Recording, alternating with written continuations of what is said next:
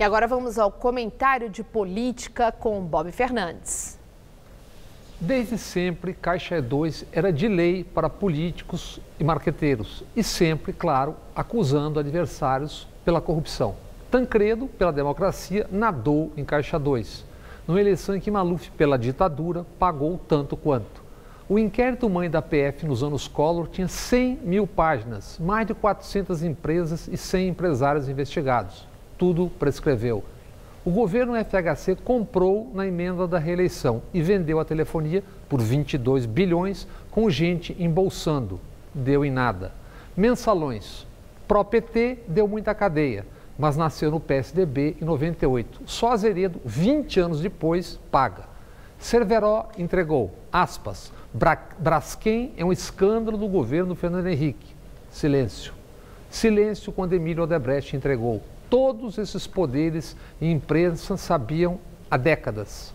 Palocci ameaçou, entregaria bancos e mídias. Juiz e mídias fingiram não ouvir.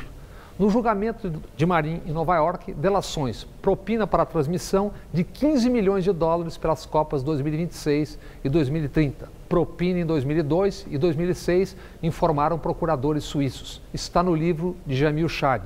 Estrondoso o silêncio. Desde a CBD, a CBF é um antro. Quem não foi para a cadeia se exilou no Brasil. Intocáveis. E o assunto é um tabu. Por quê?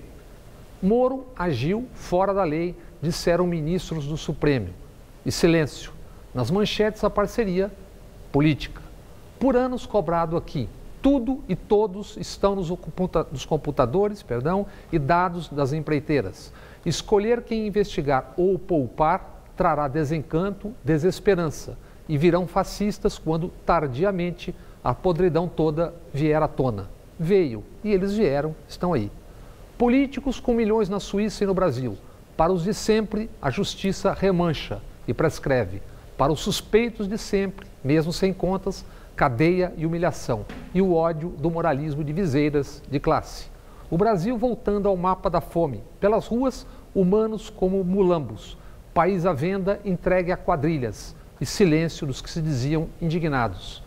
Só agora barulho, indignação bufa, berrada pelas vozes de sempre diante da súbita descoberta. Juiz, ó justiça parcial. Como podem ser tão hipócritas? Como conseguem se olhar no espelho? Boa noite.